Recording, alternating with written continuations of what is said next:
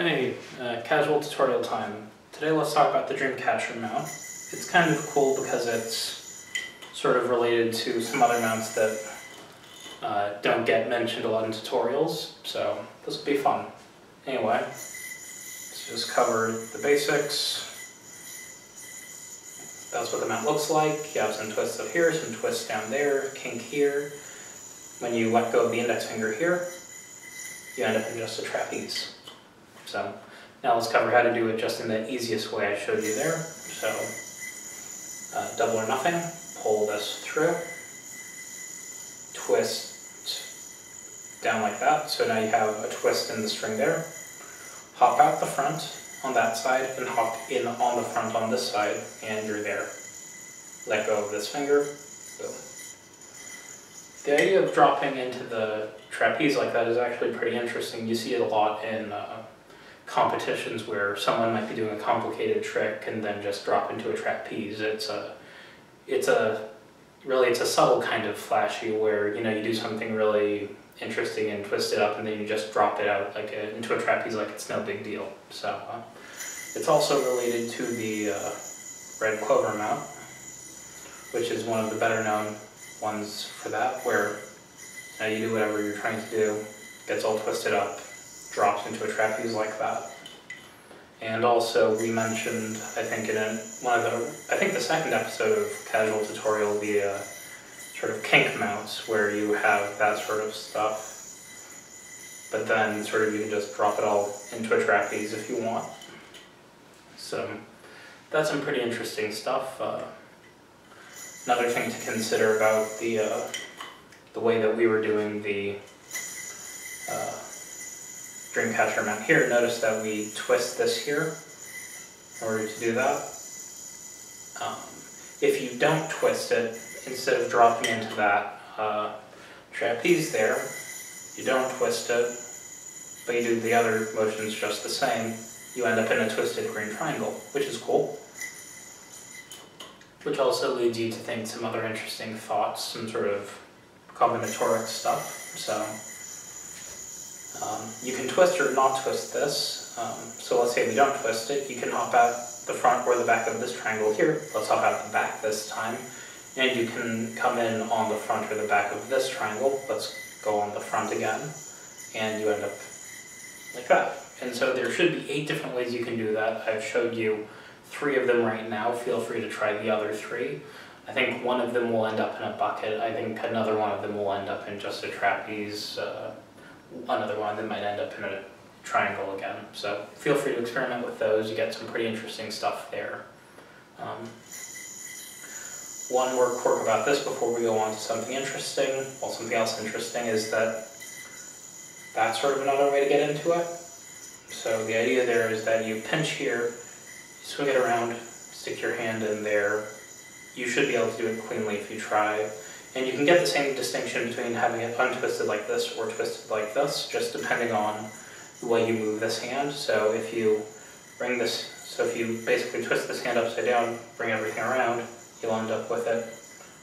Well, I messed it up there, but you can basically try to get a difference there. I'm not great at it, but anyway, so twist it there, boom. So what I'm doing there to get it to stay untwisted is as I'm getting close to the end, I let go earlier, which allows it to sort of untwist itself, whereas if you keep it pinched tight and go around, you're more likely to end up with the twist in there. So that's a thing to consider. Um,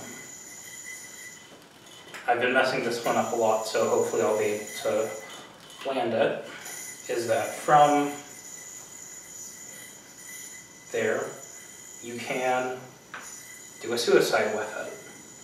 And then from there, same deal, you can just let go. So uh, when you do that suicide, uh, part of what you can do to make it a little more manageable is to uh, pinch here.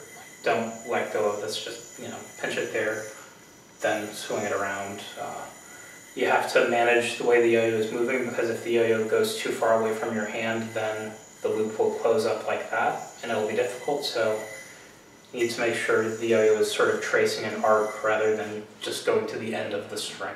So I just learned that, that's cool. And now just a couple more things that this is related to. So uh, instead of hopping out and doing that stuff, from here, let's say instead you were to undercut with your thumb, you know, because it's always cool to have your thumb doing a thing, you end up in this mount, which is actually really cool for at least one reason, which is it's just basically an upside down uh, red uh, clover. So this is the normal red clover, like that. And where I was before was just with those hands switched. So again, the way you do that is get into this uh, sort of not quite dream catcher mount here, undercut with your thumb, and you're there. And so you can bounce from stuff there. There's some pretty interesting stuff you can do, but a lot of various ways to just drop into uh, a trapeze, which makes that all pretty interesting. Uh, and from there, that's also, uh, this mount here is sometimes called the heart mount because it's a heart shape. You can hold it with just the string behind like this, or you can hold it like that. From here, if you let go, you'll end up in a trapeze, but uh, if you uh,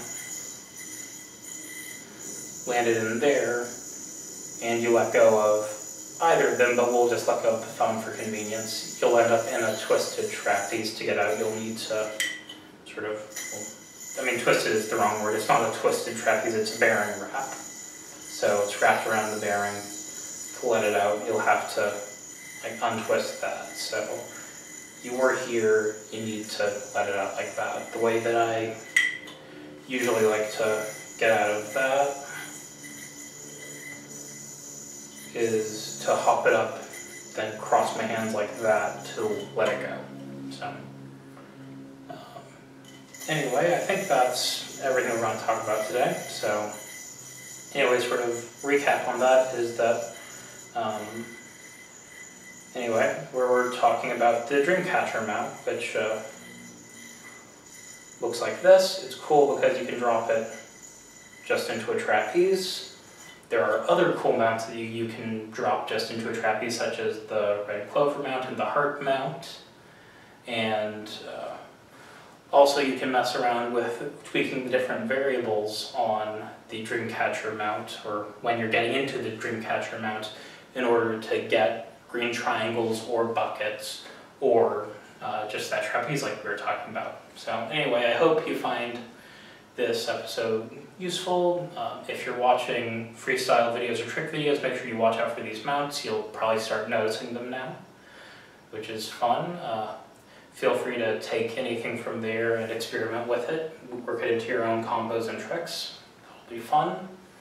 Uh, if you've liked uh, the episode, uh, feel free to let me know on YouTube or on Reddit. Um, you know, uh, those are things that help me out. Leave comments, ask questions. Uh, overall, would be nice. Uh, if you like the shirt, let me know. we recently did a run of these shirts and they went pretty well. Um, Anyway, if you have been liking the show, if you haven't been watching it, thanks.